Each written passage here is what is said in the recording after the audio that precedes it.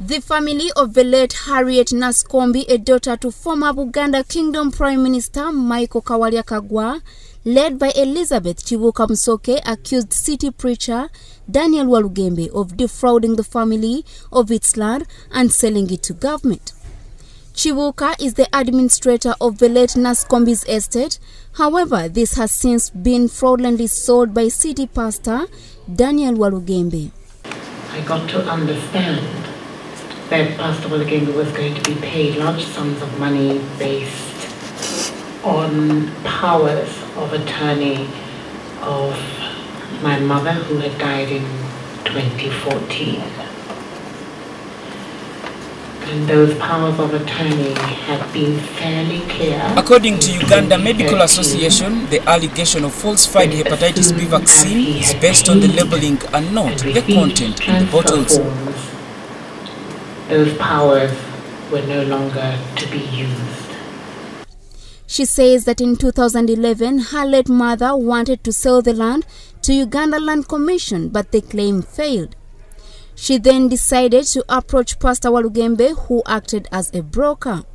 It is said that Uganda Land Commission had bought the 507 acreage land in Bulega, Buikwe district at over 2.5 billion shillings, which information Walugembe hid from the family and instead paid the family a paltry 500 million shillings after claiming he had failed to get buyers and decided to buy the land himself. And when I realized that the payments had been made and we had not received anything because my mother and I had a joint account and it was joint because she was feeling less and less able to go to the bank. Ministry of Health stresses that the genuine hepatitis B vaccine recommended for use in Uganda and public hospitals is manufactured by Serum Institute of India and is only imported by Novik Enterprises Limited. About one provider, the 507 acreage Novik, land in Buikwe being the only Kyaggwe, importer, the I cannot 979 confirm it, acreage land on block but if it 62 is, 3 in then it could be and another 326 acreage land in Chibale was all sold off by Pastor Walugembe, who has since failed to remit any money to the family despite obtaining over 4 billion shillings from the transactions. Pastor Walugembe denied all these allegations, feigning innocence that he was only acting as a broker to help the family get its money from Uganda Land Commission.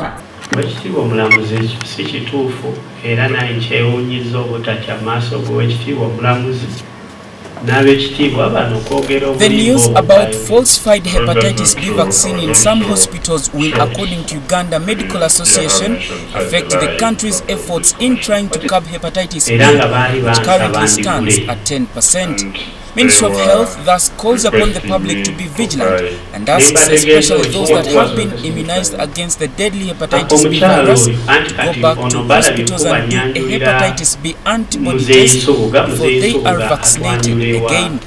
I'm Dennis Elizabeth Onyala for Urban TV. Pastor Walugembe is also linked to several other land scandals where he defrauded a number of people of their land, disguising as a broker. He's been convincing his victims to give him powers of attorney over their land and later selling it without paying the original owners. He claims his wealth is worth 18 billion shillings. The commissioners accused him of a number of things, including being a fake pastor. I am Rachel Nachuala for Urban TV.